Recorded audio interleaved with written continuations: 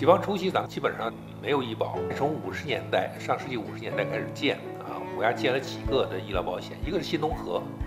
啊叫农村合作医疗。到七六年的时候，大概覆盖人民公社百分之九十三。还一大块呢，是我们叫做这个劳保医疗。劳保医疗主要解决这个城镇的这个叫职工。第三一大块呢，是我们公务员啊，公务员我们叫公费医疗。从两千年开始，国家又进一步的完善这个体系。我们现在基本上整个两个大体系，城乡居民的啊医疗保险，职工基本医疗保险，所以这两把啊两大部分合起来以后，大概现在占到百分之啊九十五，就全国全民的百分之九十五，啊基本上我们实现了全民的医保。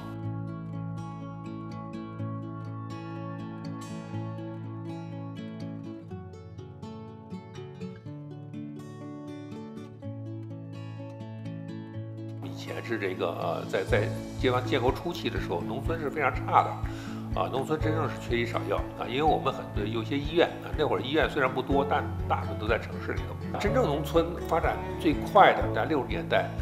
这个叫赤脚医生，就是经过短期的一些培训以后，就解决老百姓的医疗问题。乡镇的这个诊所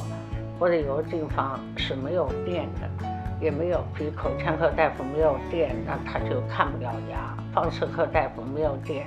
没有 X 光片，你到农村的这个呃诊所或者那个很基层的单位，他也发挥不了他的作用，那就是做一个赤脚医生。真正发展起来是这个改革开放以后啊这些年，所以我们现在国家这个呃到现在也截至二零一八年底，我们大概九十二万多都是叫做基层的啊医疗服务机构。这个大部分都在农村，基本上在每个村里头都有卫生所、卫生室。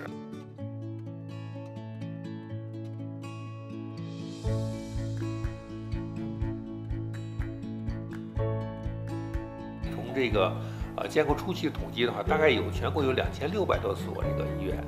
啊，大部分是教会医院，总床位大概就。九万啊！现在我们国家基本上医疗服务机构将近一百万，各种各样医院有三万三千多，八百四十多万张病床，全世界大概中等偏上啊，大概这个水平。对，个别大城市里头大概都能能达到这个国际先进水平。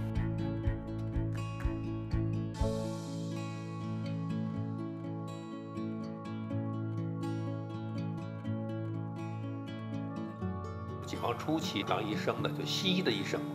大概四万左右，现在大概医生包括助理医生是三百多万，注射护士是四百多万。现在在三甲医院啊，在全国的三甲医院基本上都是进的博士，个别好的县医院也进博士。以前是两极化，一些正规医学院培养出来都是正规的，在农村大部分都是中医，通过跟师傅啊这种传承的这种学习的方法。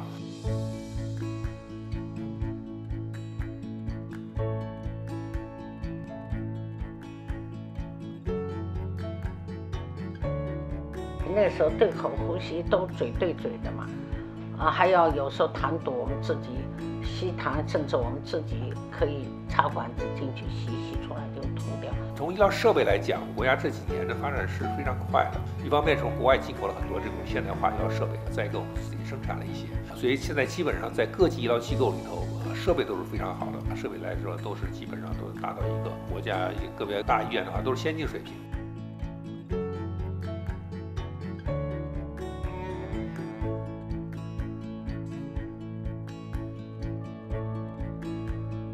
解放初期，我们国家很多传染病，所以我们国家早期的叫做发动群众爱国卫生运动，从五十年代到六十年代，我们国家传染病的发病率这个下降幅度非常大，非常快，大规模的传染性疾病都被控制了。所以我们现在基本上都是种慢性的疾病，这个政策的调整就是从预防和防控一些急性传染病，到现在基本上就是慢性病防控。